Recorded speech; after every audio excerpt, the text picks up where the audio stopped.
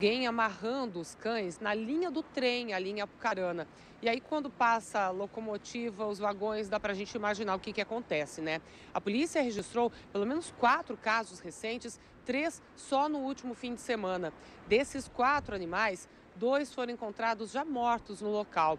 Um outro foi resgatado foi levado ali para o canil, mas infelizmente precisou ser sacrificado porque também não ia resistir. Apenas uma cachorrinha desses últimos quatro casos aí teve ah, uma das patas amputadas e aí ela conseguiu sobreviver está se recuperando. Agora, a polícia, como você disse, está procurando a pessoa ou as pessoas que são responsáveis aí por essa tremenda dessa crueldade de amarrar os bichinhos ali na linha do trem. O delegado de Apucarana, ele designou uma equipe especialmente para cuidar dessa situação, disse inclusive que já tem um suspeito. A gente vai acompanhar agora a entrevista do delegado Jacovós ali de Apucarana para amarrar um, um bichinho indefeso na linha do trem, para ser praticada uma maldade dessa, é, a pessoa, no mínimo, é psicopata.